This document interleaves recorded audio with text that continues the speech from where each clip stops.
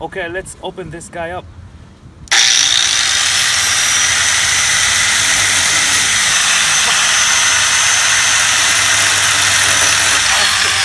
That's not gonna work.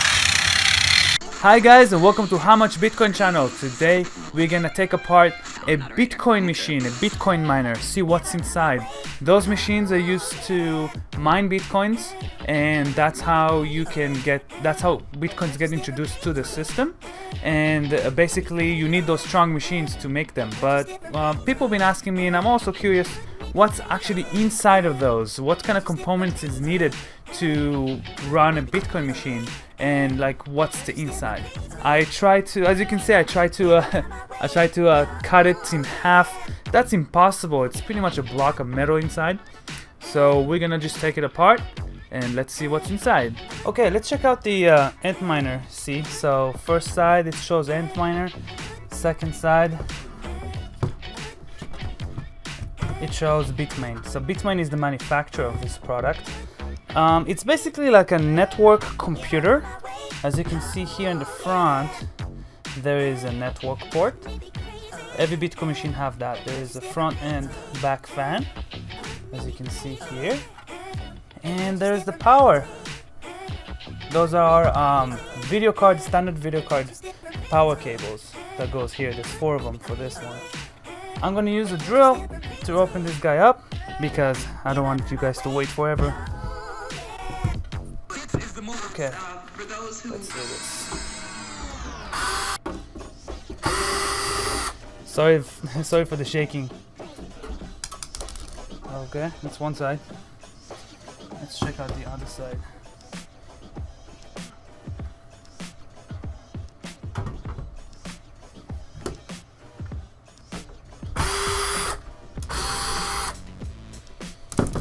see if it opens now. Okay, whoa. Alright, let's see what we have here. So, as you can see, there are two, three main components.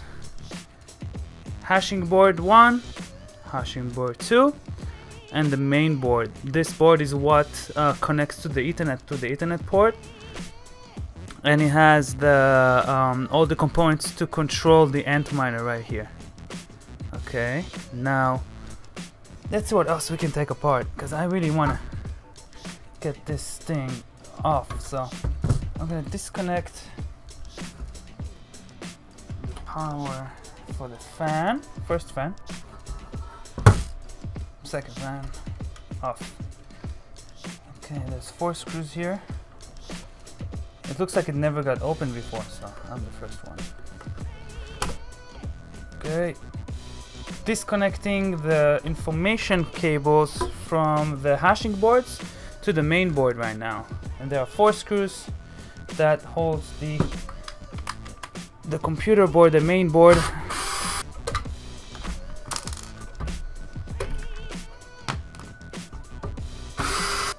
Okay, oh, okay, it's all out. So here it is. Here's the hashing port. I see, let's see what else. I see a little speaker. There are, um, I can see here the indication lights. This is the reset button right here. And what's in the back? That's it. So here's the brackets it holds it on. So there's a whole bracket here. I guess that stays together. I'm not sure.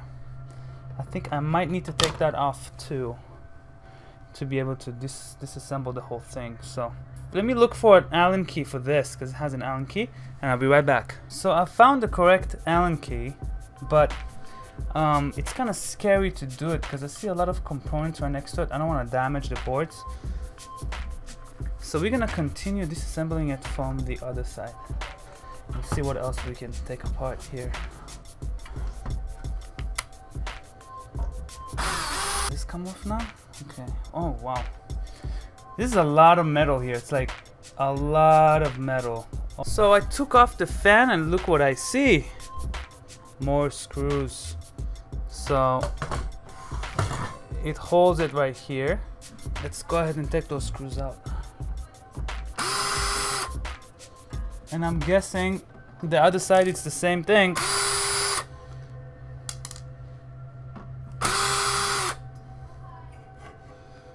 Okay, now we're getting somewhere. Let's look at the other side now. Same thing. Okay. Let's take off the fan.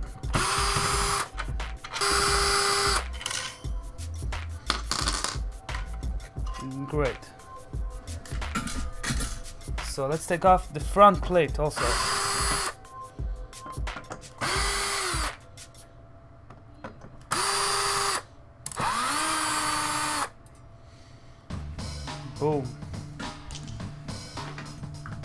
Okay, so they're still connected by the middle thing here.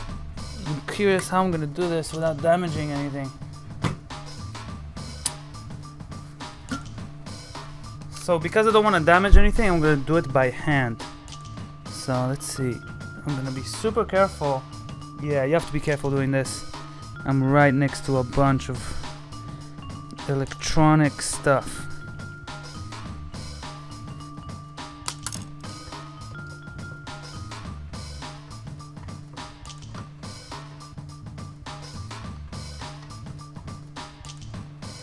I'm to take everything out, all the screws, and now we have two separate boards. So let's take a look at this board. So basically, this is a big, big heatsink. Both sides. This is even a bigger one. Look at that. You need that much of a heatsink to get all the hot air out because those things running at full force. There's a bunch of chips inside. I wish we could see them. Let's see if that's possible. Let's see if we can actually open those up and see if we can see what's inside. I will try one of them.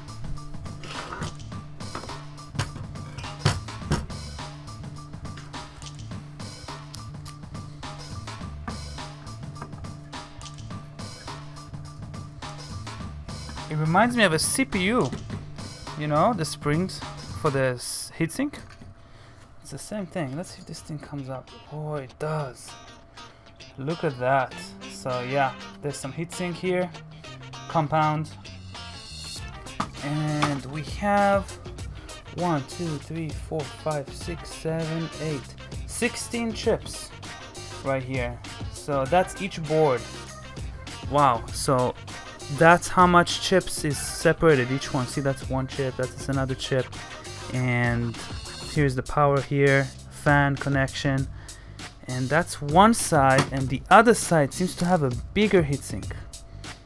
So that's what's inside a Bitcoin miner. I'm gonna go ahead and put it all back together. It's gonna take me forever. Don't worry I'll just do it.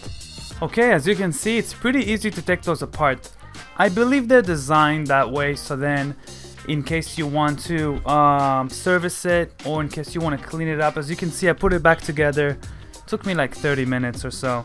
Um, yeah they're designed to basically if the fan goes out you buy a new fan you take it apart four screws right away. It's very easy. So it's a very smart design.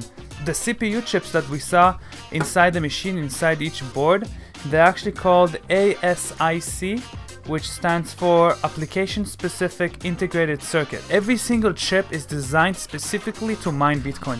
It cannot do anything else. So in case this thing becomes obsolete, which is pretty much is right now, this is the Antminer S3. It's pretty old. Um, it takes a lot of power, doesn't mine a lot of Bitcoin. In case this becomes obsolete and this doesn't make any more bitcoins, it's like a, it's like a, it's like a weight. It, that's what it's worth. It doesn't do anything else. Unlike CPU, CPU can do a lot of things. ASIC chips can only mine bitcoins. You cannot mine Ethereum or any other coin for that matter, only Bitcoin, so it's that specific. So that's the disadvantage of those machines. Eventually they will be worthless and there's nothing we can do with them. Like literally like there's nothing you can use this for. Maybe for like a weight or um, a door stopper perhaps. But nothing you can use this for after it becomes obsolete. Thank you so much for watching, by the way. And um, if you have any questions, let me know. Uh, it was really fun opening this and discovering that it's pretty simple inside. And uh, don't forget to leave a like and uh, you know comment if you have any questions and uh, subscribe if you're new to my channel. And see you guys later. Bye bye.